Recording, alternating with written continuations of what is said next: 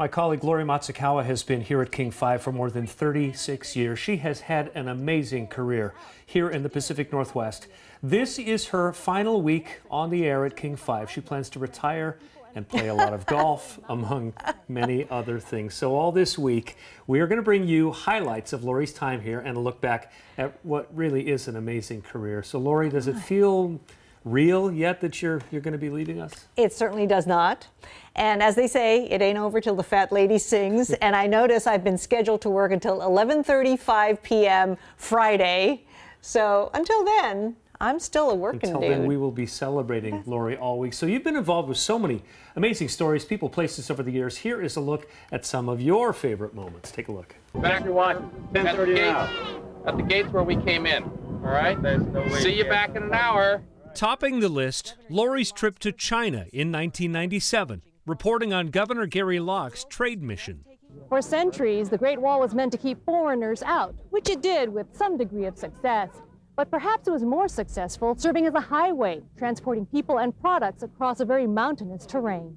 The Forbidden City is huge 800 buildings, 9,000 rooms. They started building it in the early 1400s, and it's been burnt down and rebuilt several times since. With the governor in China, Lori Matsukawa, King 5 News.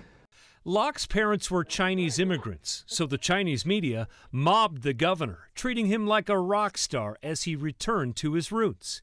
He has fond memories about representing the state of Washington on the global stage and seeing Lori every step of the way. But I have great memories of Lori, uh, Lori carrying a tripod uh, up the Great Wall of China. Lori was just incredible. I mean, um, the, the whole King 5 team just really gave us, our family, such great, great, great memories.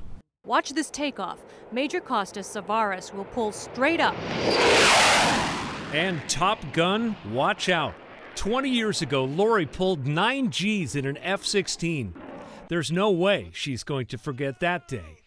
Oh my goodness! The 2001 World Cup overall champ is keeping things in perspective. Lori was front and center at the Olympic Games in Salt Lake City and Vancouver, interviewing many local athletes, including short track speed skater Apolo Ohno.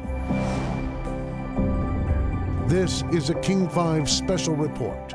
Lori produced the special series Prisoners in Their Own Land, marking the 75th anniversary of the internment of Japanese Americans.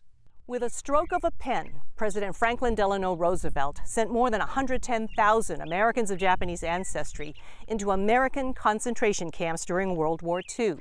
Lori spoke with men and women who were forced to live behind fences as children. It was cold in the winter and more really hot in the summer, and there were dust storms and mud, very lots of mud. And we saw the legal crusade in Seattle and around the country that led to an official apology from the U.S. government and reparations. For here we admit a wrong. In 2017, Lori flew to Japan to report about the aftermath of the 2011 earthquake, tsunami, and Fukushima nuclear disaster. When the tsunami swept through this area, it actually came up to the top of that house over there, wiping out the entire village. Tens of thousands of people displaced.